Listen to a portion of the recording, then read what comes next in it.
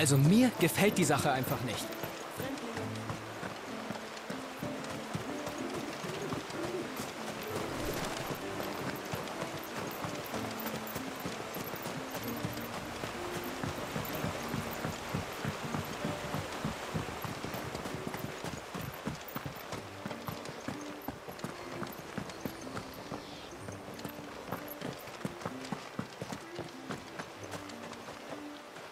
Willkommen in der Zuflucht. Lady Shula erwartet euch in der Vitan-Halle.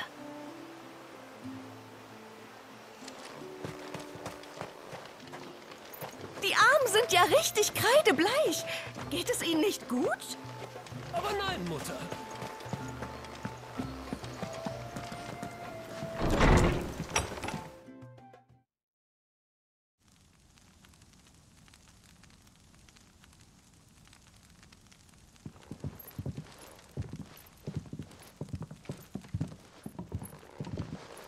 Na, was haltet ihr von unserer kleinen Zuflucht mitten im Wald? Verglichen mit den Städten im Süden mögen wir hier vielleicht auf einige Annehmlichkeiten verzichten müssen, aber es ist unser Zuhause. Und das ist auch, was wirklich zählt. Es kann nicht einfach gewesen sein, das Dorf so lange geheim zu halten. Ganz und gar nicht einfach. Unsere größte Sorge ist es, den Schimmer aufrechtzuerhalten, der uns vor dem Rest der Welt verbirgt. Uns und Valeas. Valeas? Ist das Leviathans Dominus? Richtig. Eine große Last für einen kleinen Säugling. Er ist noch ein Kind? Aber du sagtest doch, dass der Dominus und seine Esper vor fast einem Jahrhundert in der Woge eingeschlossen wurden. Also müsste er sogar noch älter sein, oder nicht? Eigentlich schon, wenn er gealtert wäre wie jeder andere. Aber nicht einmal das ist ihm noch vergönnt. Ich fürchte, ich verstehe nicht. Valeas ist der Sohn meines Urgroßvaters. Fast sofort nach seiner Geburt ist Leviathan in ihm erwacht. Aber anstatt ihm ein einigermaßen normales Leben als Teil der Gemeinschaft zu ermöglichen, wollten meine Vorfahren seine Macht für ihre eigenen Zwecke nutzen. Doch zu ihrem Unglück hat die Esper in Valeas die Niedertracht in ihren Herzen gespürt. Leviathan beschwor eine gewaltige Welle herauf, die das ganze Dorf verschlungen hätte, wenn meine Ahnen ihn nicht aufgehalten hätten. Also ist es nicht die Woge, welche das Kind gefangen hält, nicht wahr? Es ist die Zeit selbst. So ist es. Entschuldige, aber ich begreife es immer noch nicht. Verständlich. Das alles ist nicht gerade leicht zu erklären.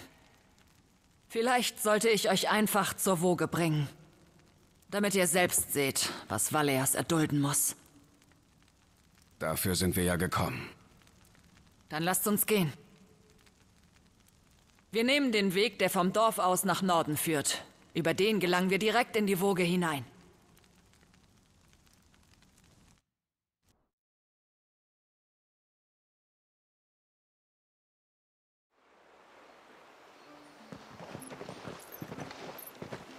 Macht ihr euch auf zur Woge, Lady Shula? Ja, Dalina. Hast du mit den anderen über unsere Gäste gesprochen? Das habe ich. Alle wissen Bescheid, dass sie wie ein Teil der Familie behandelt werden sollen. Dann dürfte euch niemand Probleme bereiten. Aber bitte, nimm trotzdem dieses Symbol meines Volkes an dich.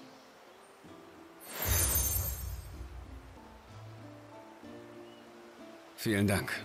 Ich freue mich schon darauf, die Familie kennenzulernen. Das beruht auf Gegenseitigkeit. Solltet ihr Fragen bezüglich unseres Dorfes haben und Lady Shula verhindert sein, dann wendet euch bitte jederzeit an mich. Ich werde euch helfen, wo ich nur kann. Danke. Das werden wir. Dann auf gute Gezeiten.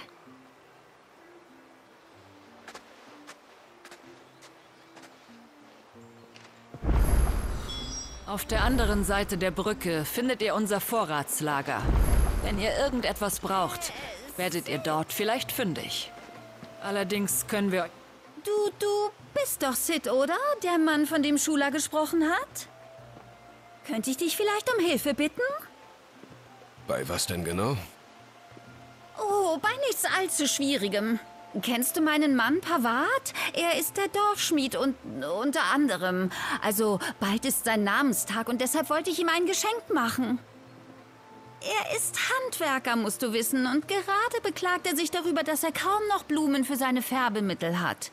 Also habe ich mich gefragt, ob du nicht für mich welche bei den Blumenpflückern holen und zu ihm bringen könntest. Äh, sollte dieses Geschenk nicht besser von dir kommen? Vielleicht, aber das äh, geht nicht aus Gründen, über die ich jetzt nicht sprechen kann. Ach bitte, ich weiß, es hört sich albern an, aber ich wäre dir so dankbar.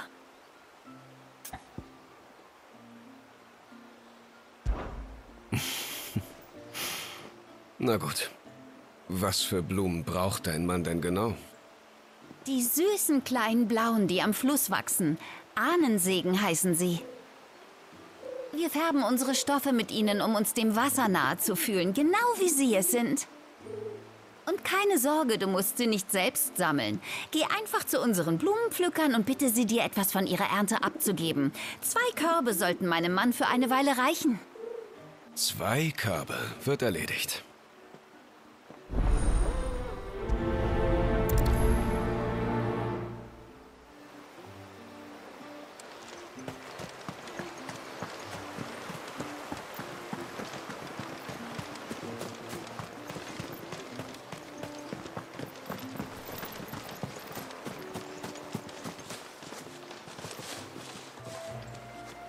Entschuldige. Könntest du möglicherweise einen Korb voll Ahnensegen entbehren? Pavards Frau hat mir aufgetragen, welchen zu besorgen. Für ihren Mann. Sie meinte, dass ich mich an dich wenden soll. Ah, Würda will, dass du ihre bessere Hälfte mit den Früchten unserer Arbeit segnest, ja? Nimm sie ruhig. Vielleicht lässt sich der alte Miesepeter damit zähmen. Wie meinst du das? Ach, ignoriere mich einfach. Pavard ist zwar ein Sturkopf, aber nicht dumm. Wenn du Geschenke mitbringst, wird er sich schon zu benehmen wissen. Das hört man doch gern. Danke.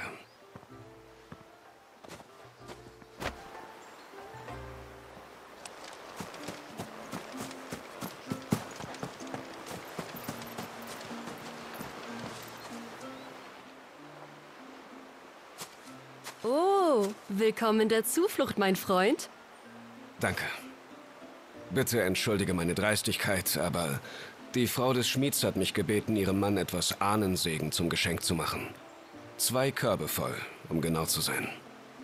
Hm, also ich hätte hier einen, falls dir das weiterhilft. Das tut es. Vielen Dank. Sie sind wirklich schön. Nicht wahr? Aber das ist nicht der einzige Grund, warum sie uns Kindern des Wassers so viel bedeuten. Die Legende besagt, dass der damalige Anführer einige Samen des Ahnensegens aus Ashra mitgenommen hat, als unsere Vorfahren ihre alte Heimat dort aufgeben mussten. Und wo immer unser Volk auf der Suche nach Wasser Halt gemacht hat, soll er einige der Samen gepflanzt haben. Jeder Anführer nach ihm hat diese Tradition aufrechterhalten. So haben die Blumen schließlich auch hier in Mysidia Wurzeln geschlagen. Genau wie wir.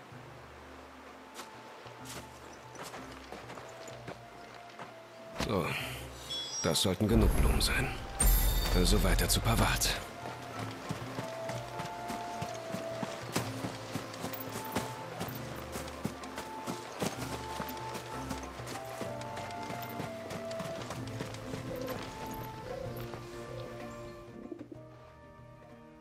Was willst du? Deine Frau hat mich gebeten, dir diese Blumen zu bringen.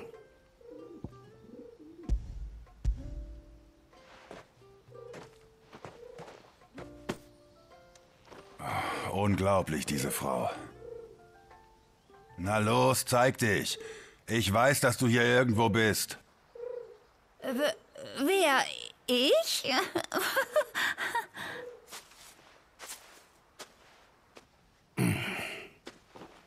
Wäre einer von euch beiden so freundlich, mir zu sagen, was hier vor sich geht? Bitte entschuldige. Es war nicht meine Absicht, dich an der Nase herumzuführen. Es ist nur. Also mein Mann kann manchmal ziemlich schroff sein und ich dachte, das wäre eine gute Gelegenheit für euch, einander ein bisschen näher kennenzulernen. Schließlich bist du ein Schwertkämpfer und er der einzige Schmied hier im Dorf. Es wäre doch schade, wenn du ihn nicht um Hilfe bitten könntest. Er konnte mich bis jetzt nur nicht um Hilfe bitten, weil ich so viel mit den ganzen anderen Aufträgen zu tun hatte, die ja alle unbedingt sofort erledigt werden mussten.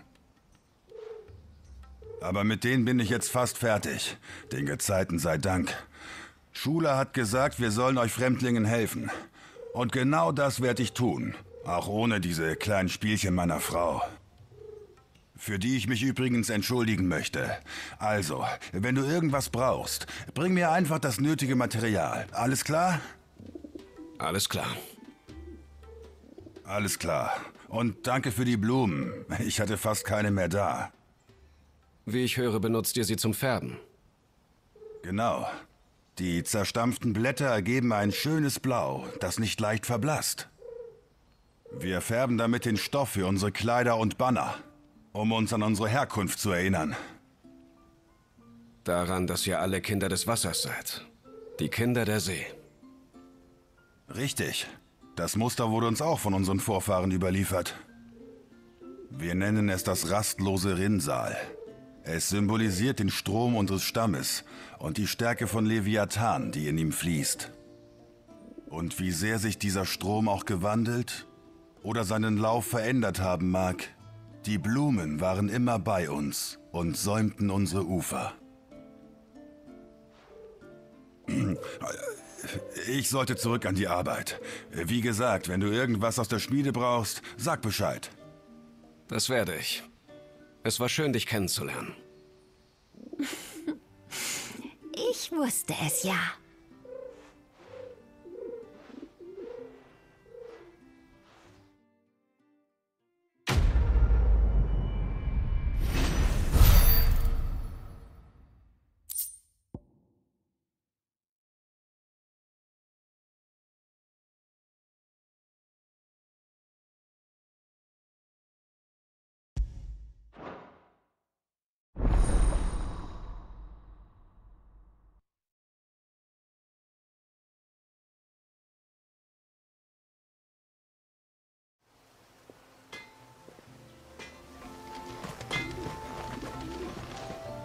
Meine Klingen sind auch nicht schlechter als andere, würde ich sagen.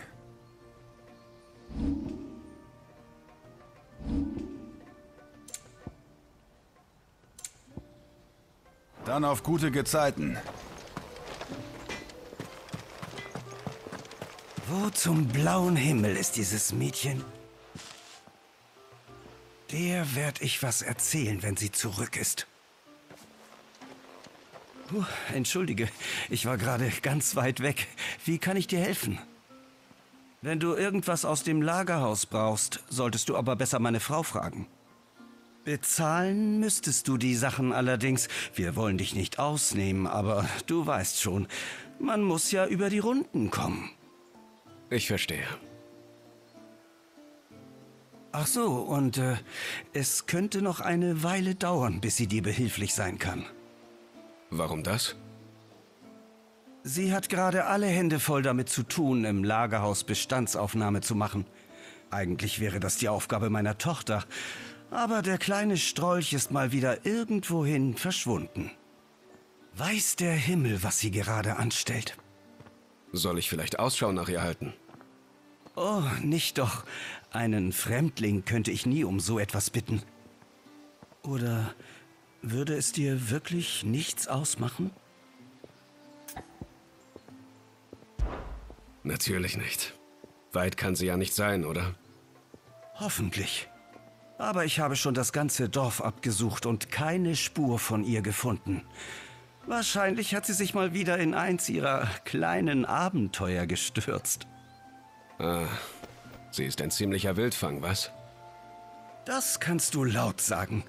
Sie kann keinen Moment stillsitzen, vor allem seit sie weiß, dass wir Besuch von euch bekommen. Fremdlinge. Als sie das gehört hat, haben ihre Augen angefangen zu leuchten vor lauter Aufregung. Vielleicht wollte sie bei eurer Ankunft einen Blick auf euch erhaschen und ist zum unteren Tor gegangen, durch das ihr reingekommen seid.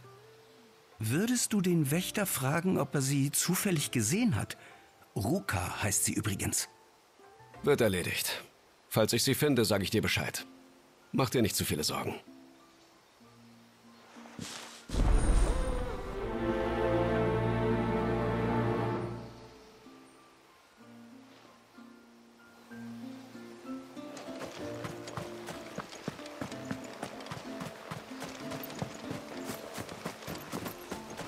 Meine Vorfahren wirklich.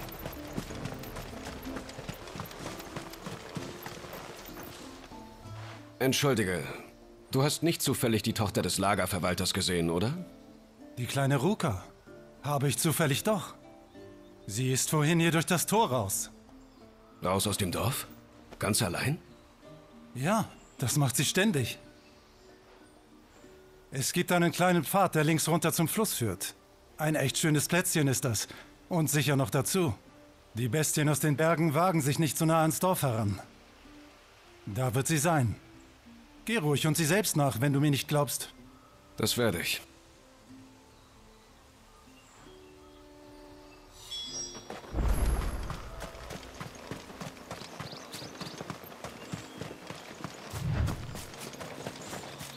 Das muss der Pfad sein.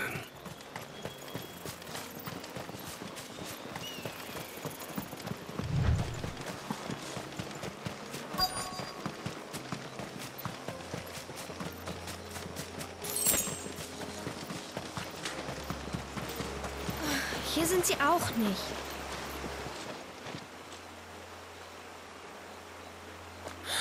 Du bist's. Ich hab dich überall gesucht. Du musst Ruka sein. Du kennst meinen Namen. Kannst du etwa Gedanken lesen? Dein Vater hat mich gebeten, nach dir zu suchen. Du hast ihm nicht verraten, wo du hin willst. Er hat sich Sorgen gemacht. Aber ich hab dich gesucht. Jetzt hast du mich ja gefunden. Wie wäre es, wenn wir zusammen zum Dorf zurückgehen und deinem Vater Bescheid sagen? Ja, gut. Auf dem Weg nach Hause kannst du mir dann von der Welt hinter dem Wall erzählen. Ich will alles wissen. Für alles wird die Zeit wohl nicht reichen.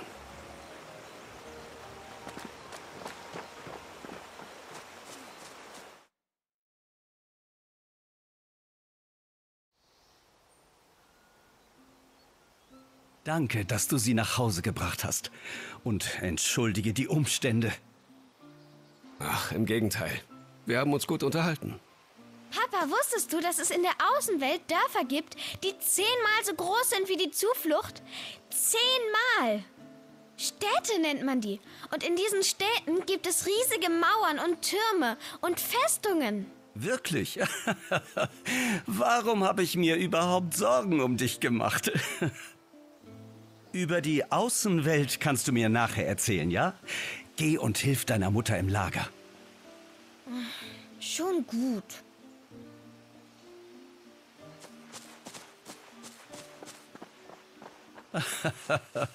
Danke, dass du ihre Fragen so geduldig beantwortet hast.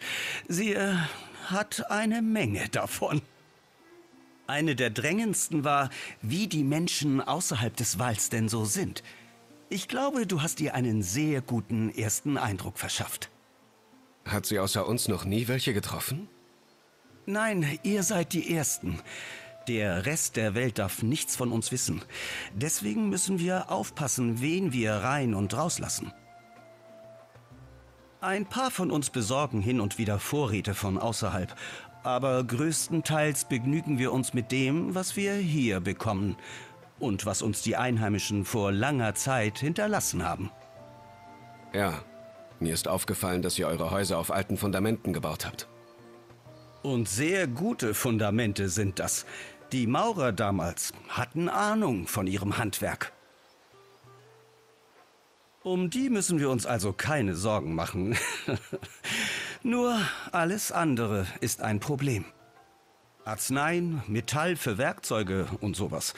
Für all diese Dinge müssen wir uns als reisende Händler verkleiden und in die Außenwelt wagen. und dabei zu jeder Wolke im Himmel beten, dass wir nicht auffliegen. Ah, deswegen braucht ihr also Gil. Genau. Und jetzt, wo Ruka zurück ist, sollte meine Frau auch Zeit haben, dir bei deinen Einkäufen zu helfen. Also bedien dich ruhig an unseren Vorräten. Im Gegenzug sind wir dann so frei, uns an deinen Gil zu bedienen. Ich habe eine Ahnung, dass mir das Geld hier etwas lockerer sitzen wird als sonst.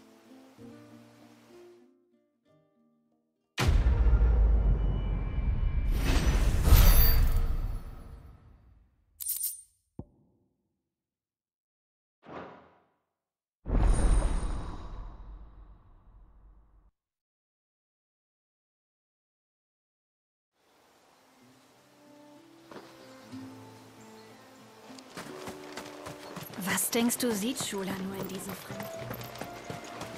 Wie lange steht diese Brücke wohl schon hier? Du hast doch früher in der Außenwelt gearbeitet. Die verdammten Kerls?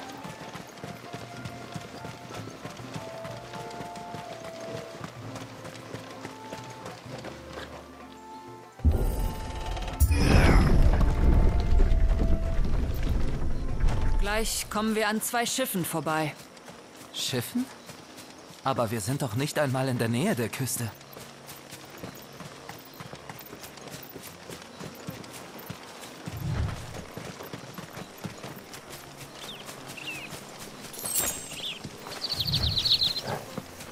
Wir folgen dem Pfad nach Osten, am zweiten Schiff vorbei. So kommen wir am schnellsten zur Woge. Schula, wie sind diese Schiffe überhaupt hierher gekommen? Was glaubst du, was passiert, wenn die Esther des Wassers wütend wird? Dass du das überhaupt fragen musstest.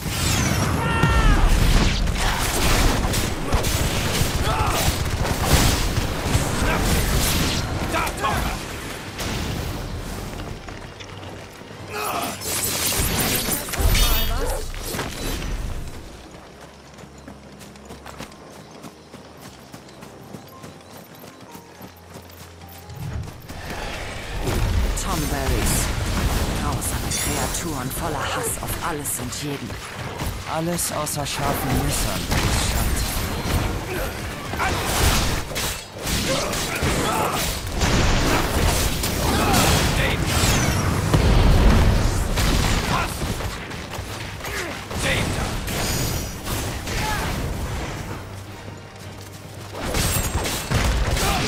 Schnapp sie! Hier!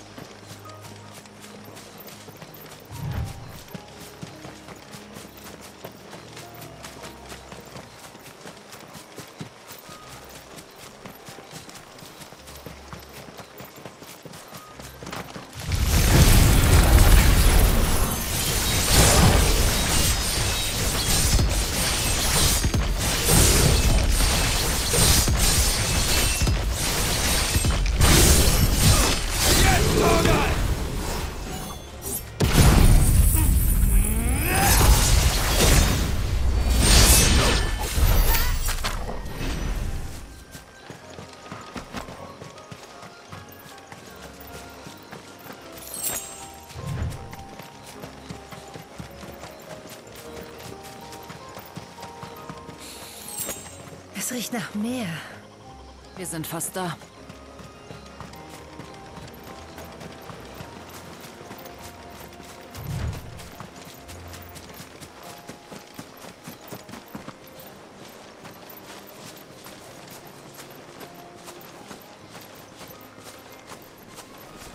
Und wie erreichen wir nun die Woge?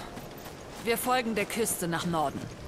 Dort gibt es eine Brücke, die zum Kap führt.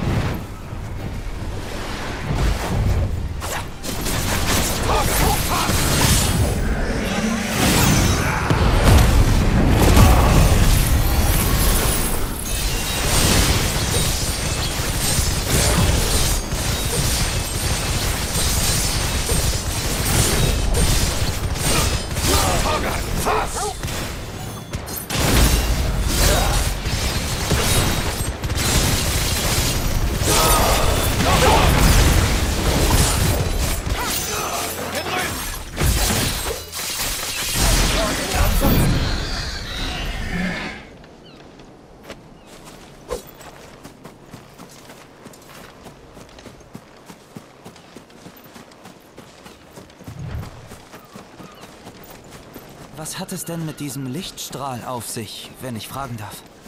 Er verhindert, dass die See sich die Woge zurückholt und unser Volk Valeas befreit.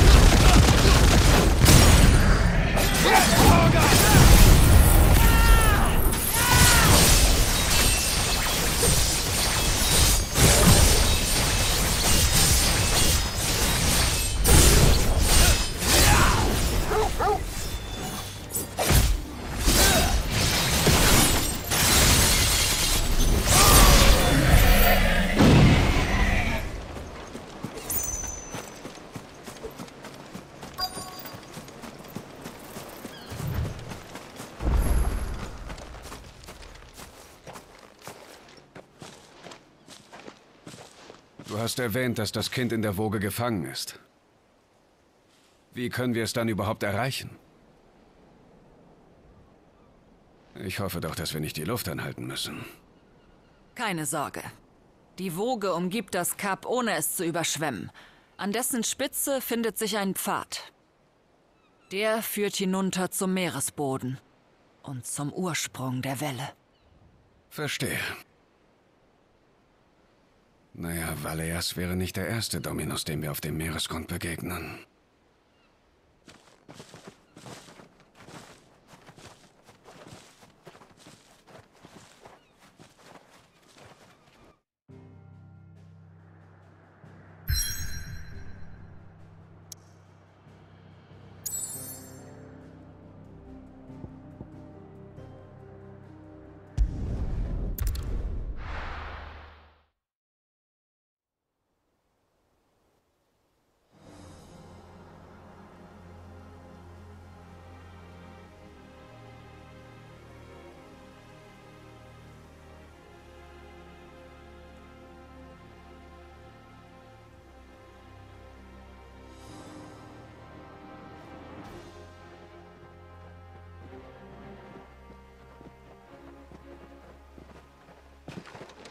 Jetzt ist es nicht mehr weit. Sieht aus, als würdet ihr euch gut um diesen Pfad kümmern. Kommen alle Dorfbewohner regelmäßig hierher? Nein, nur ich. Einmal im Monat, ohne Ausnahme. Als Anführerin meines Volkes und Nachfahren von Valeas ist es meine Pflicht. Aber du bist nicht für diese schreckliche Tat verantwortlich. Warum solltest du allein dafür Buße tun müssen? Das verstehst du falsch. Ich besuche ihn, weil ich es will. Er soll wissen, dass er nicht allein ist. Und dass es da noch jemanden gibt, der sein Leid beenden will. Leid, von dem ihr euch gleich mit eigenen Augen überzeugen könnt.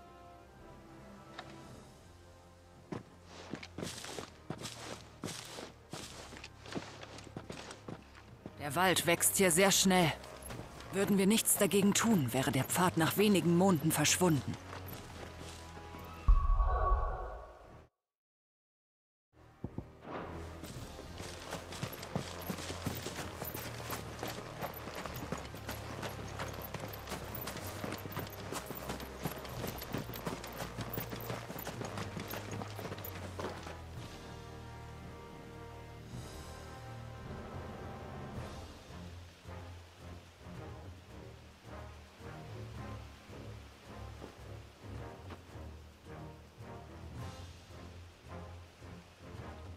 Entlang, Clive.